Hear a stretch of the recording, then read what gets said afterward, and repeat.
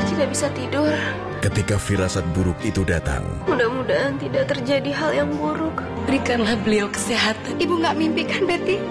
Muslimah setiap hari jam 1.45 dini hari di ANTV.